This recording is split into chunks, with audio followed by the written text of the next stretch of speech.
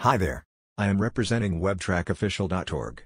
We provide all sorts of digital marketing solutions like web designing, social media integration, search engine optimization, graphic designing and logo designing.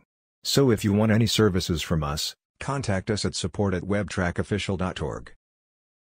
In this video I am going to show you how you can fix this contact form 7 issue. Whenever you try to submit a form, the error generates which says, There was an error trying to send your message. Please try again later. I recently integrated Google CAPTCHA to my site and since then I am facing this issue. If you have no idea what Google CAPTCHA is or how you can integrate it for free, check out my video here. The simple solution that worked for me, that's what I am going to share today. So go over to Plugins section and search for, Contact Form 7 CAPTCHA.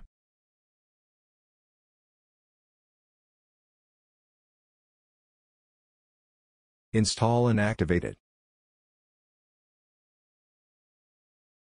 Once it's activated, click Settings.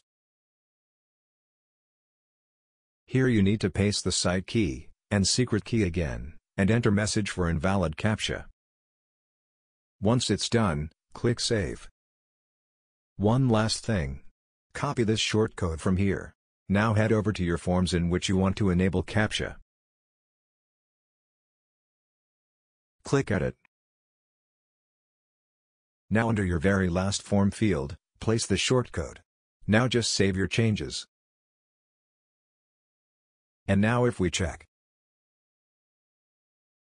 Here you can see the CAPTCHA is enabled.